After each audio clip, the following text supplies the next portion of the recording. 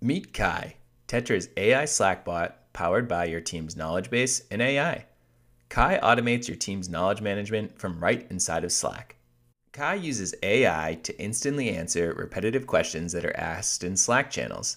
Kai can also capture useful knowledge from your Slack threads and automatically write new knowledge base articles for you.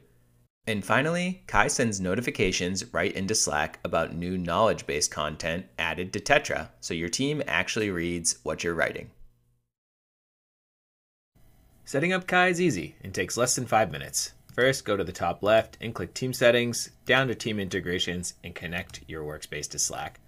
Click Allow, which will connect Tettra to your Slack instance.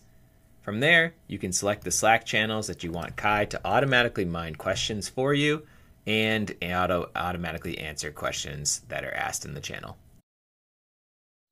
Once added to a channel, Kai will automatically respond with an AI generated answer created from your Tettra knowledge base. Your team can also at mention Kai to get an instant AI answer in any channel. Or your team can DM with Kai directly to ask questions and get answers privately.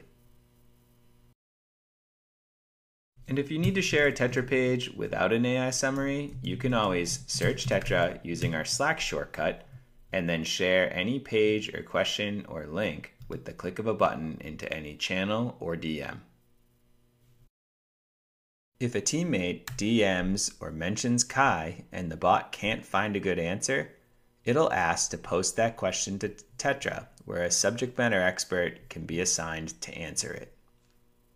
Then, when the subject matter expert answers the question in Tettra, a notification is automatically sent back to Slack so that people see the answer. Kai also helps you build your team's knowledge base from the conversations already happening in Slack. On any thread, you can click Save Summary